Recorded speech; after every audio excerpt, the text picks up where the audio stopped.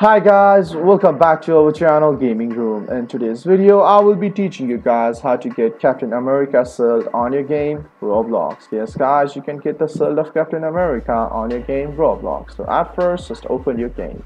And as you open your game, you're in this home screen. So just stay at this home screen and look at your left where you can see a profile option. So just click on there.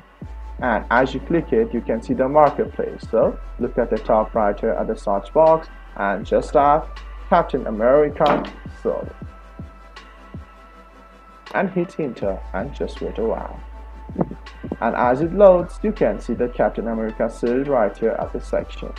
And to buy the shield, you must use your Robux coins. If you don't have it, don't worry, you can just top it up on the store page and come back to this page again to get the Captain America shield.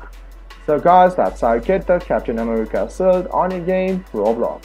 If you find our video helpful, please leave a like and please do not forget to subscribe our channel. Also hit the bell icon to get updates with our latest videos.